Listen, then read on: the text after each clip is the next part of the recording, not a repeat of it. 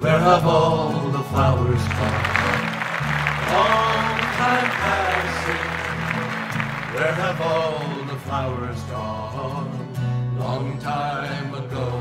Tickets and details at collinscenterforthearts.com. Young girls pick them, everyone.